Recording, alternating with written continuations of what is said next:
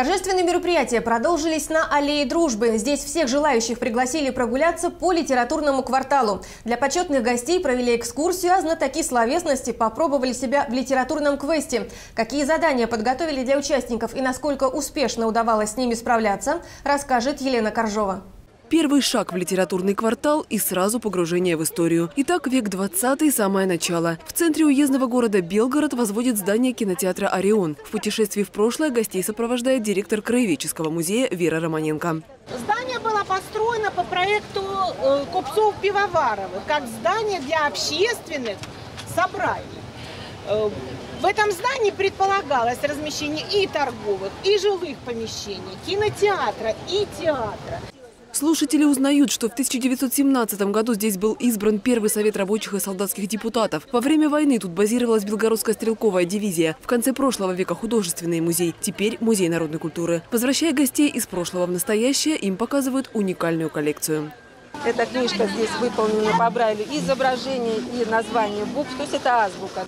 Такие книги собраны в детском центре специальной библиотеки для слепых имени Ярошенко. Собранием гордятся и уверяют, по всей стране подобных единицы. Презентует себя и областная научная библиотека. Ценителей удивляют уникальные экземпляры из коллекции редких книг. К примеру, вот эта «Беловежская пуща» вышла в 1903 году тиражом в 300 экземпляров. Ее автор Георгий Корцов – кинолог при царском дворе, охотник и литератор. Рядом издание 1901 года – первый русский справочник по орнитологии. Недалеко на книжном развале издание уже не столь раритетные, а просто старые. Любую книгу можно взять, прочитать и передать другому. От желающих нет отбоя. Недаром называли всегда нашу страну самой читающей страной в мире. Поэтому, видимо, традиции эти нужно развивать и поддерживать. Я считаю, что электронные книги – это хорошо, но это совсем не то ощущение, когда чувствуешь в руках эти листики. Это всегда приятно, шуршание. Такое послевкусие замечательное. Здорово, праздник замечательный. Я считаю, что подарок не только белгородцам, но здесь очень много гостей. Сегодня любители словесности не только читали, но и применяли свое знание литературы на практике. Тех, кого не смущают замысловатые вопросы и зашифрованные задания, пригласили на литературный квест чтобы э, люди вспомнили про знаменитых наших поэтов, писателей, окунулись как раз в эту атмосферу творчества и э, Примечательно, что с собой они забирают такие интересные стикеры, которые сейчас популярно приклеивать на ноутбуки с цитатами из этих произведений, как раз э, по которым они путешествовали. Участники игры отправились в путешествие во времени. Вспомнить пришлось и древнерусскую литературу, и словесность средних веков, ну и, конечно, советских и современных авторов. В следующем столбике зашифрованы крылатые выражения наших нобелевских лауреатов. Вам сперва нужно э, сопоставить подсказку с самой шифровкой. Это задание в одном из семи тематических отделов. Тут нужно блеснуть знанием наследия нобелевских лауреатов. Юные участники пытаются разгадать шифровки. Может, 29 это «ы»? Да, наверное, «ы» все-таки.